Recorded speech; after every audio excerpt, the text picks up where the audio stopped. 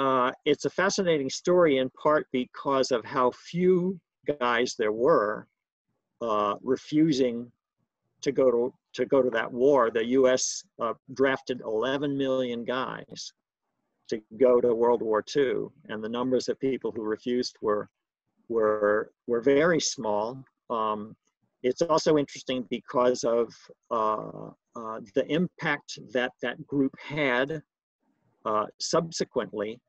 Um, a certain number of them had been confined to mental hospital. No, uh, not a certain number of them had been required to work in mental hospitals, and they saw just how disastrous mental health care was in our country. So a certain number of them became advocates for improved mental health care. And one of those uh, World War II uh, conscientious objectors was Dave Dellinger.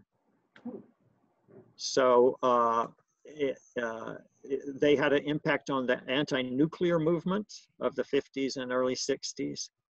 And uh, there were a certain number of people, uh, draft resistors, for whom those guys, those World War II conscientious objectors, were their mentors and their seniors. There was a bookstore in Menlo Park called Kepler's Books, and there was a guy named Roy Kepler who was a World War II conscientious objector. Um, and that was sort of the seedbed of these high school students and, and college students becoming radicalized. Uh, there was a, uh, a clerk who worked there uh, named Ira Sandperl, who was uh, a Gandhi scholar and was arguing that people develop uh, opposition to the war using nonviolent resistance.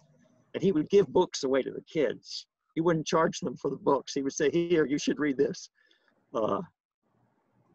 So yeah, it's a fascinating story. I think it's very well done. Uh, obviously, Daniel Ellsberg has a certain pizzazz just because of how key a story it was and how suspenseful a story it is. But the, the Good War and Those Who Refuse to Fight It is a wonderful film too.